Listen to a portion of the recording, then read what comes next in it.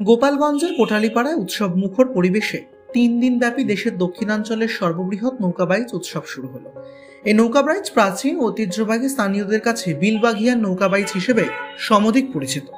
প্রতি বছরের মতো এবছরও এই নৌকাবাইজকে কেন্দ্র করে হাজার হাজার মানুষের মিলন মেলা বসেছে কোটালীপাড়ার উপজেলার কালীগঞ্জে। রোববার দুপুর থেকে নান্দনিক এই নৌকাবাইজ বিপুল আড়ম্বরপূর্ণ অনুষ্ঠানের মধ্যে দিয়ে শুরু হয়েছে। সোমবার দুপুরে নৌকাবাইজ উৎসবের দ্বিতীয় দিনেও দুপুর থেকে নৌকাবাইজ উৎসব চলে সন্ধে পর্যন্ত। মঙ্গলবার সন্ধ্যায় নৌকার বাইচের উৎসব সমাপ্ত হবে।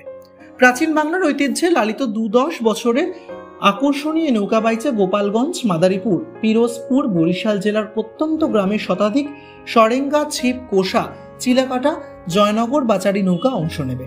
আবহমান গ্রাম বাংলার অতি প্রাচীন কৃষ্টি সংস্কৃতি ও নিজস্বতা ধরে রাখতে হাজারো প্রাণের আনন্দ উচ্ছলতায় কোটালীপাড়া উপজেলার বিলবাগিয়ার বাবুরখালে কালীগঞ্জ বাজার থেকে খেজুর বাড়ি পর্যন্ত দু কিলোমিটার এলাকা জুড়ে নৌকা বাইচ ও মেলা অনুষ্ঠিত হচ্ছে। এখানে বাড়তি আকর্ষণ নৌকায় নৌকায় মেলা। হাজার হাজার মানুষ দুই পাড়ে দাঁড়িয়ে নৌকা বাইচ প্রত্যক্ষ করে। দুপুর থেকে নানা বর্ণে ও বিচিত্রে সাজে সজ্জিত দৃষ্টিনন্দন এসব নৌকা তুমুল বাইচ শুরু করে। সন্ধে পর্যন্ত চলে নৌকা বাইচের একের পর এক ছোট